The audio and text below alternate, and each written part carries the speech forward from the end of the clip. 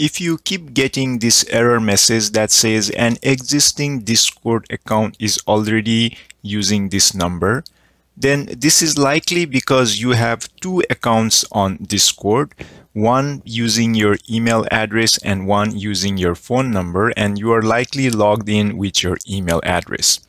Now, if this is the case, then you will need to delete the account that was created using your phone number, of course, assuming that you no longer need that account. Now, to delete that account, open your browser, open new incognito window, then open the Discord website, log in, log in with your phone number and not your email address. If you forgot your password, you should be able to reset your password using the forgot your password option. Then once you log into Discord using your phone number, go to the settings and then click on delete account. Again, assuming you no longer need this account.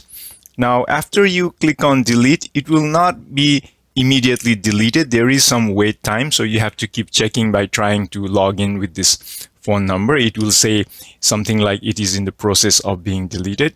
Then once this account that was created using phone number is fully deleted, then you should be able to verify your uh, other Discord account using email uh, using this phone number.